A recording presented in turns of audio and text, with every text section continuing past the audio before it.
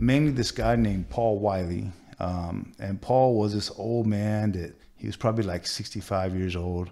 He was a, a, a, I feel bad for the guy. I mean, he had a rough life. He was a complete drunkard. You know, uh, it was hard to understand him when he talked. He'd be like, eh, eh. and if he wanted to smoke a joint, he'd be like, because he couldn't even say, let's smoke. And I couldn't understand him, but he just, when he spoke, he slurred so much, I just could not ever understand him. Wow. Uh, and this other guy that lived in the front, his name was Law. Uh, we called him Law Dog, and he worked for Clear Channel Communications, you know, and he was a cool dude. Him and his wife, you know, they were, you know, partiers and go getters and whatnot. So he had the big front place. Okay. And, uh, you know, one day we're all hanging out, and then something happened. It was, it was like everybody turned on me.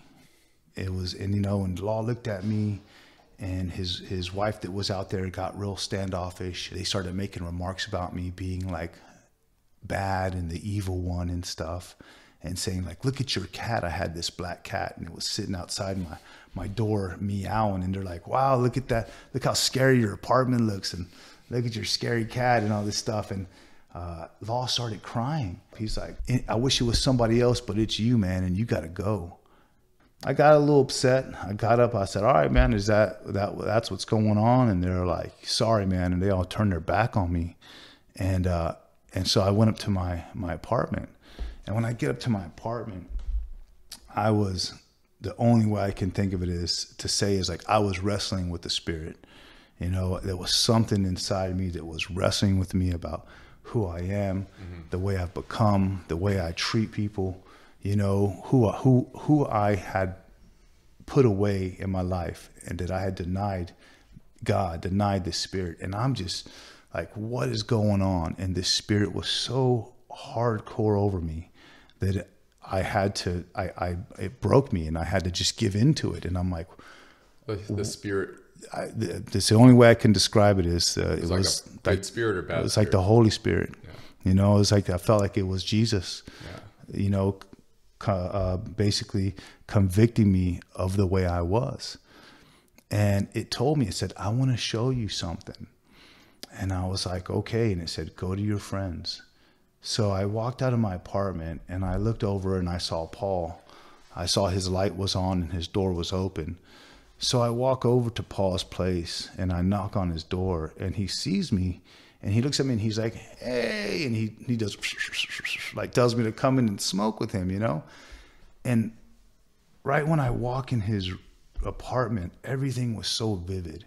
I could see the maroon carpet and all the white cat hairs, a dirty newspaper. I could see his kitchen full of dirty dishes. His his bedroom door was open. I could see all his clothing on his bed. It was it was just kind of a disheveled place, you know, and he's sitting there all drunk and hey, you know, and I said, hey man, I just want to tell you I'm sorry, man. Uh, I don't know what's going on. I don't know what happened. I said, but I respect you because you're my elder, you know. And he was like, nah, and he's like trying to can't really talk, but he's just saying, nah, don't worry, you know. And I said, hey man, I think God's trying to talk to me right now. And I said, do you know anything about Jesus?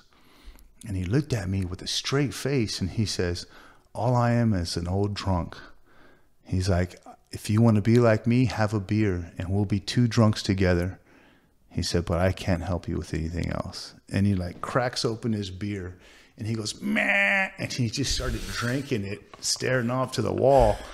And I was like, wow, what? it was so crazy. And Spirit told me like this is a drunkard because this like he normally can't. he normally like couldn't that. speak. He couldn't. Every time he'd speak, I couldn't understand the word he said. But that time he spoke Dude. so clear. Wow. You know, and so I just stepped back That's and I, I was crazy. like, okay. I, I, I, walked back and I, I said, all right, man, I, I got to go. And I walked down the stairs. And when I walked down the stairs, I started walking towards the front. And Law had a place that was right in the front. And he was in the very front of the the driveway. And when he saw me come down, he started rushing towards me. And when he's rushing towards me, he had a very angry look on his face. And he walks up to me and he goes, Hey, what's up? And I was like, Whoa, that tripped me out, you know? Yeah. And I said, Hey, man, I just want to say, I'm sorry, bro. I don't know what happened. No, no, it's cool, man. Come on in. And he gets to his door and he opens it up. And when he opens it up, he opened his door and he looked all shiny and plastic.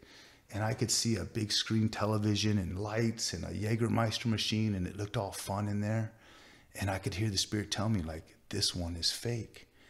And then I could hear his wife say something.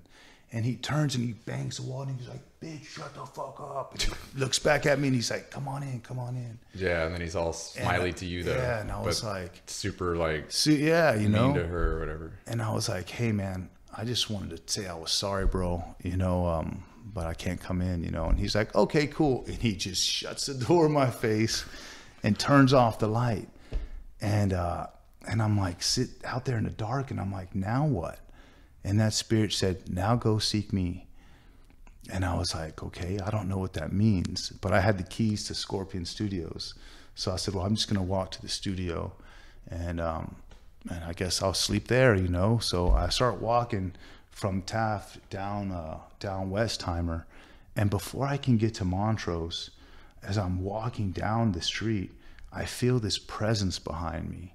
And this presence I feel that's behind me, it feels like it's something very powerful like a very powerful presence, but it also feels like it's afraid of me, you know? And I'm like, "Hmm, that's weird. I turn around and it's those two guys, those two black guys, the one guy that I punched and the other guy with the broken arm. And so I looked at him and I said, hey, what's up, guys? I said, you guys know who I am? And they're like, yeah, we know who you are. And I said, hey, I just want to tell you I'm sorry for the way I treated you. And they looked at me and they just smiled and they go, oh, that's cool, brother. We forgive you. And I looked at him. I said, "Really?" I said, "That easy? You guys forgive me?" And they said, "Oh yeah, that easy. We forgive you." I said, "You guys ever heard of Jesus?" And they said, "Oh yeah, we know who that is." Mm-hmm. I said, "You think he could forgive me as easy as y'all have?" And they said, "He already has." Check out the full video, The God Debate, on this YouTube channel.